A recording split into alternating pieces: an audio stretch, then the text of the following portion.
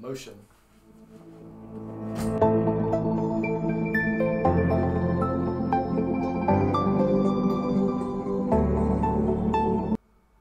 So we're here at last with our final theme, that being set in motion. Of course, alongside everything else, I want to start off with some artist research, which is what I'll be doing now. To start off this episode, I looked into some more artist research, as I always do. I looked into an artist called Umberto Boccioni, who was an Italian artist who did a lot of paintings and sculptures, which emphasize the art movement of dynamism. I looked at many of his sculptures, but the one I was particularly interested in was his unique forms of continuity in space, a bronze sculpture which can be seen to, as an expression of motion and fluidity, which I believe would be excellent for the theme of set in motion. Next, I looked into Alberto Giacometti, who I had done a lot of research into in a previous project, so I already had some information there. I particularly enjoyed his rough looking sculptures and busts, which I felt really exuded the aura of set in motion, which is something that isn't properly set in stone, but is constantly moving. I also looked into Jackson Pollock, who was very famous for his abstract expressionism paintings, such as Blue Poles, which is one of my favourite pieces by him, and one of the ones I focus on mainly.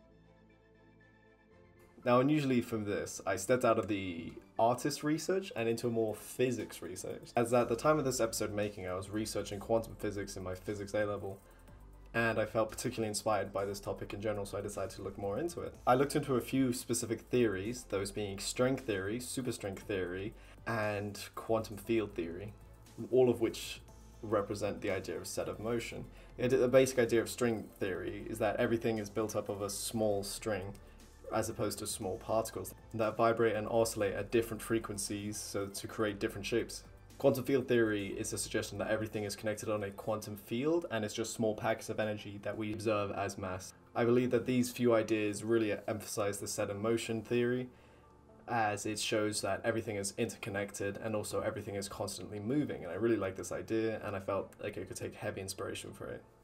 After talking to some other designers, I started to think, what kind of extra research can I do to really influenced the idea of set in motion, and I came across the idea of optical illusions, something that looks like it's moving and yet isn't at all, and I find that idea very interesting. I really like the idea of optical illusions, and I definitely want to look into this more. So I've done a bunch of research into various forms of optical illusions that have something to do with motion, and I'll be showing that to you right now.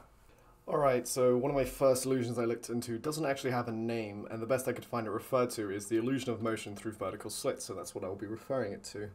The way it effectively works is you have an image with multiple frames, in the best case scenario being six, all of which are spliced together in a single image. And you move a sheet of black lines over it, and as you do, it shows each individual frame at a moment, and it thus tricks the eye into thinking it sees an animation of some sorts. Effectively, our eyes track the moving slits, so we perceive them as not moving. And because the slits are evenly spaced, the motion repeats as the next slit in line moves over the same part of the drawing behind it, Therefore, our brain sees a cyclical animation even though the drawing isn't moving at all. I quickly made my own animation inspired by quantum physics, which I would use later on with an experiment. Another set of illusions I found are high-speed rotating illusions. Mainly I started looking into a zoetrope, which is a circular device that when spun you can look through slits and see an animation play out in front of you due to the high rotational speed. I looked into a bunch of similar concepts that were evolved from or evolved into the zoetrope, those being the phenakistoscope, a 2D wheel that, when spun, causes an illusion of the entire circle moving, which is limited by forcing the user to have multiple animations in the same cycle, which I was not a big fan of. The thaumatrope, a two-sided circle that when spun creates a slight illusion as the two images will merge into one by the brain, such as the classic bird in the age thaumatrope. And finally, a praxinoscope, which is the successor to the zoetrope, would utilize an inner circle of mirrors that the user would observe in replacement of the above slits. These mirrors would be placed so that reflections of the pictures appeared more or less stationary in position as the wheel turned, and I believe that this was a more effective method of the zoetrope. I also looked into the stroboscopic effect and the temporal aliasing, in which it is effectively an effect that occurs when a continuous motion is represented by a series of short or instantaneous samples. It happens a lot in rotating objects and is often called the wagon wheel effect because as a wheel moves at a certain speed, it matches with our brain's shutter speed, and we begin seeing it as a continuous, a still image almost. And sometimes, in, as it increases in speed, it begins to look as if it's reversing almost. This kind of effect also happens with train tracks, as you can see above, where it appears to change its direction momentarily. This is this is especially emphasized when taking a video of something as the shutter speed of a camera is much lower than the shutter speed of a human eye. My final optical illusion I looked into were color influenced discs, where I had two discs in specific, that being the Newton disc of primary colors and the Benham top, which shows the effects of Fechner color. Now the Newton's wheel of primary colors, when it's rotated at high speeds, begin to bleed into just a white color, as you can see here. And I want I feel like that effect is really cool. However, the Benham top creates the opposite effect, where it shows off the Fechner color effects, where as it rotates at high speeds, it begins to create the illusion of color. And apparently, this cannot be videoed, which I find very interesting, and I'd love to see it in person. I'm not entirely sure how I'll represent this, but I'll do my best. After doing some more research into optical illusions, I found that I was very interested in them, just like I had predicted. So what I decided to do next was to look at all my list of optical illusions I found, and then perform them all in a form of experiment, which I will be doing following. Now my first experiment was my zoetrope experiment, where I made a 16 frame animation of a string moving up and down, which I sampled from a skip rope moving up and down so I could get a more realistic vibrational string. And then I created a little strip of paper, which would have around 30 centimeters in length and 2 centimeters in height. My first attempt was to 3D print a model, but I really got the zoetrope concept incorrect. So instead I laser cut some slits out of, of Aeroply and then curved it around a circle. I then used two-part glue to connect the strip to around the circle base and placed my, my paper strip of the animation frames inside. Then I placed it on a potter's wheel and spun it at high speeds, starting from a low speed as you can see here and slowly building up to a high speed. For this experiment I found three interesting results the animation looks best when seen through the naked eye at higher speeds as the mind blocks out the strips much better. Number two, the slits began to look slanted with greater speed, although this may be caused by the angle of the camera, I'm not entirely sure.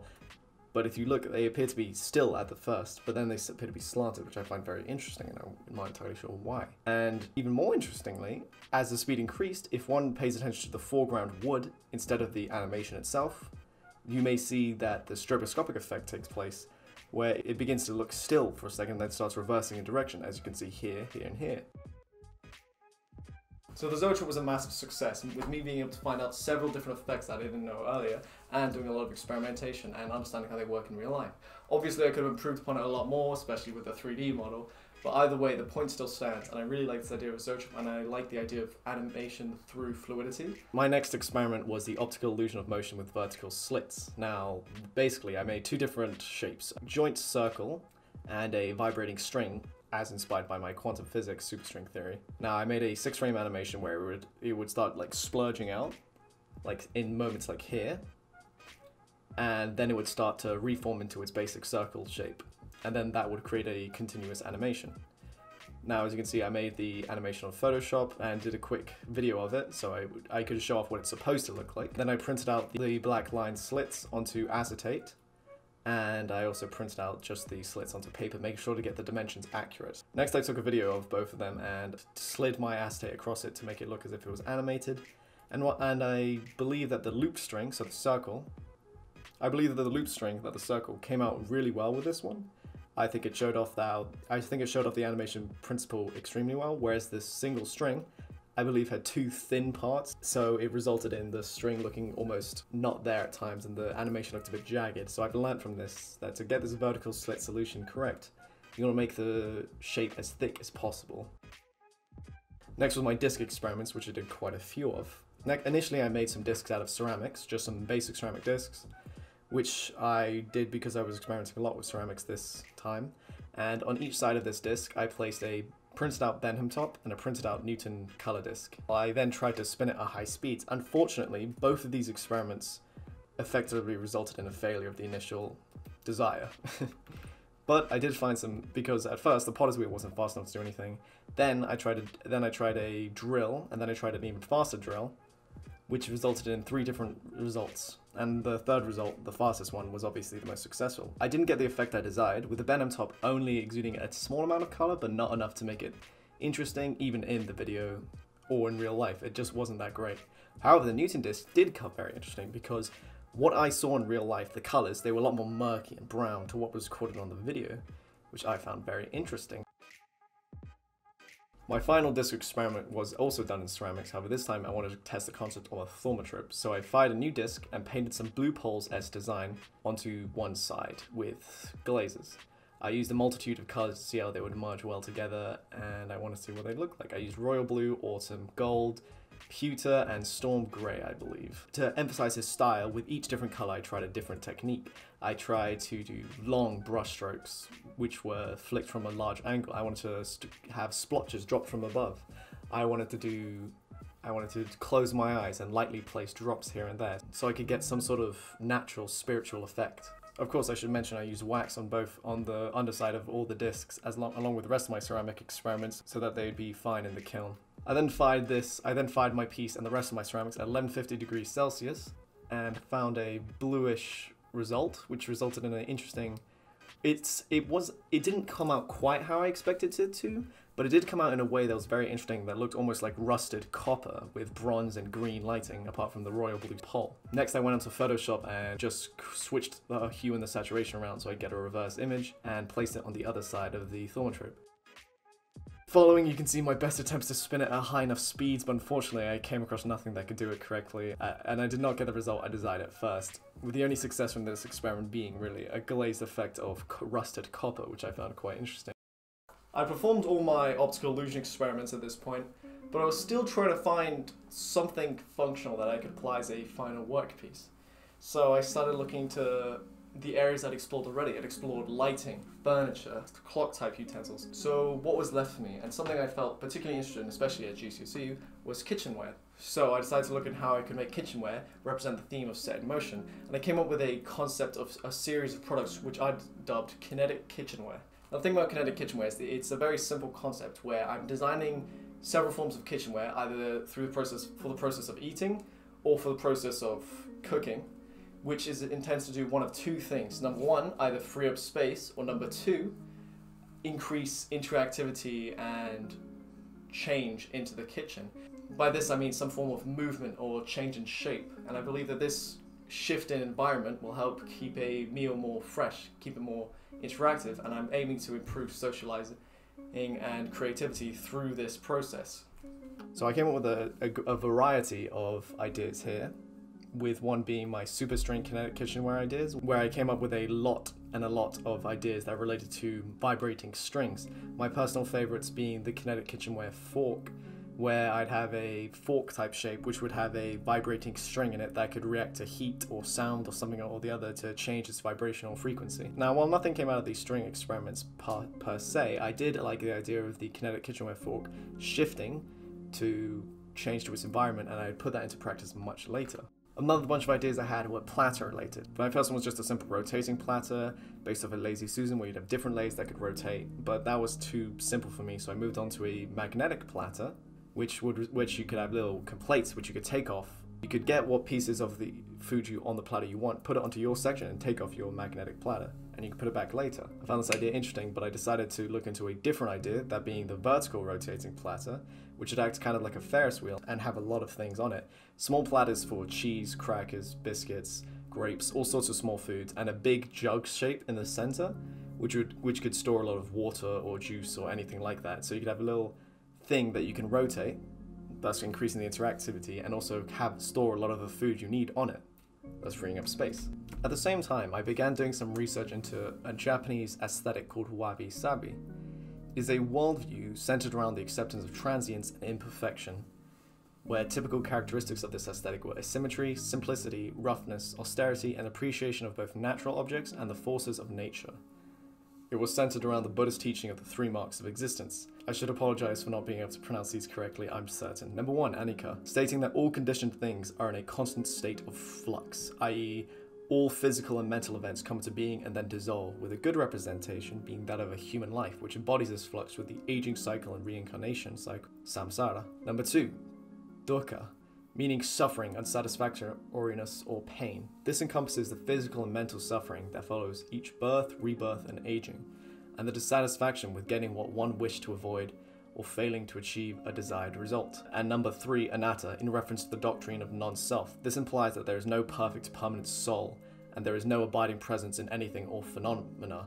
There is only the constant present, in which is shifting entirely. Your personality, your soul, your spirit, you are constantly shifting.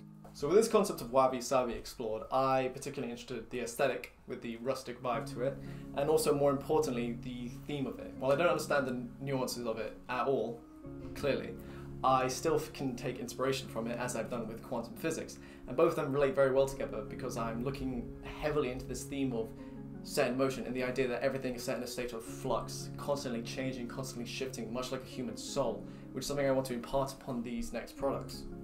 My first idea was an auto-balancing jug, which is just a simple kinetic kitchenware idea that as it falls, I'd have some sort of mechanism to close off the jug, so therefore nothing could spill out, maybe as a soy sauce thing. I didn't really like this idea as it wouldn't hold up in comparison to a multitude, multitude of other products that already existed.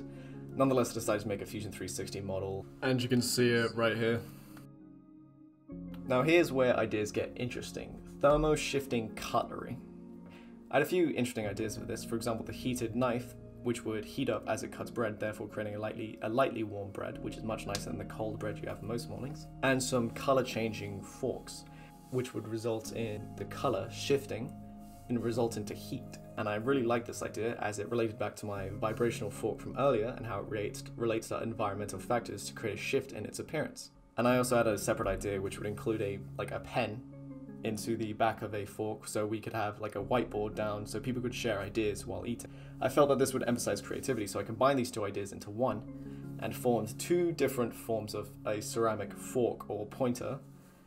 I bought some color changing black paint, did an experiment on a mug, and then painted the ceramic fork type shape in the color changing black paint, which works by applying a matte black followed by a rainbow changing liquid, which would shift in color at 28 degrees. To test this out with a mug, I used hot water and it came up with extremely successful results, whereas with a fork, I actually lost the pen that was designed to be in it, so I couldn't have the pen side.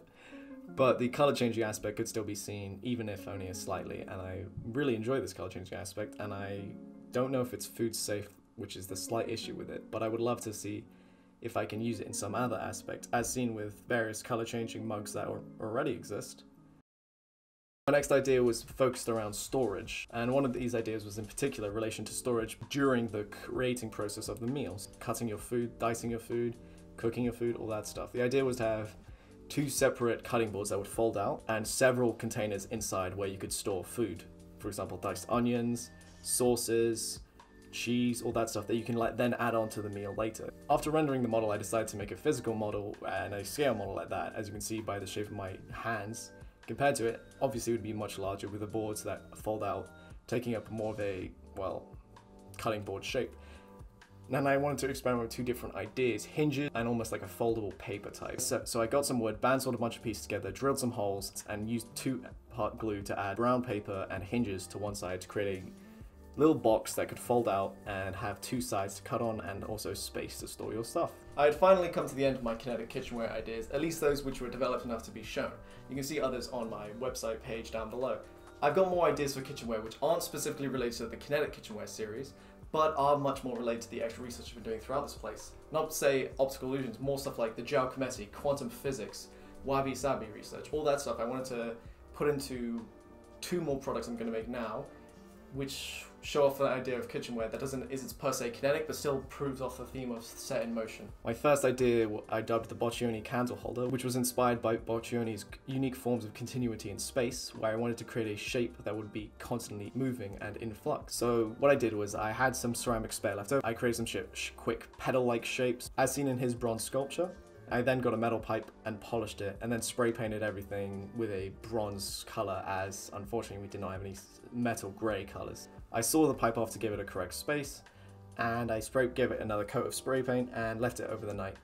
I glued everything together and it was only then that I noticed that somehow an orange dot had got on top of my candle holder. So what I did was I took some pictures with the orange dot and went on Photoshop and used the clone tool to remove it in post. And I think this came off very well. You can barely see the orange dot anymore. And I really like this idea of the candle holder. And I think with some extra dimensions changing and some more forp into the shape and movement of it, I could create a much more appealing candle holder than your standard candle holder. My final idea was an idea I labeled Duke, which was its name. But effectively, I created a symmetrical, appealing mug on the potter's wheel, which I wanted to experiment with using ceramics. And then I ruined it. Taking inspiration from Giacometti, Wabi Sabi, and the constant state of flux that had inspired a majority of this theme, I added small portions of wrinkles. I pressed in with my nails. I tried to misshape the shape as much as I want, even going, even blinding myself at some points to create that shape. Then taking insp- inspiration from a specific bust by Giacometti, I added eyes, nose, mustache slash mouth type shape, and some ears. Then I added a coat of autumn and a pewter highlight around its eyes. Now, the one issue with the mug I had was that the autumn color was a lot darker than I expected, and, and perhaps it would have emphasized the themes of Wabi Sabi more if I used only a singular color and avoided the pewter highlight. Either way, I was pleased with how it came out, and I had ended up with three different final products effectively for this theme, as well as a bunch of optical illusion research that I had done previously. And just like that, we finished our final and third theme of our research for C3 set. We've looked into set in time, we've looked into setting environments, and last but not least, we've looked into set in motion. All three of which I have particularly enjoyed and I've done a large amount of research that I think will definitely be useful. However, I can only go through with one theme. All the materials, experiments, and general research I've done will be hopefully encompassed into the final product, at least as much as I can do. However, I must go through with only one theme as my main driving goal. Now, the way I've decided to go about this is to make a list of everything I've done in each of the topics, and from that, I can then create a list of positives and negatives for each theme, weigh them up against each other, talk some primary users, which I'm going to interview and reveal next episode, and then come to decide a final theme which I'm going to be exploring in my project. Either way, with that being said, that's set in motion finished, and I can't wait to see the next episode where we're going to finally decide a final theme and go through with the product. Let's go.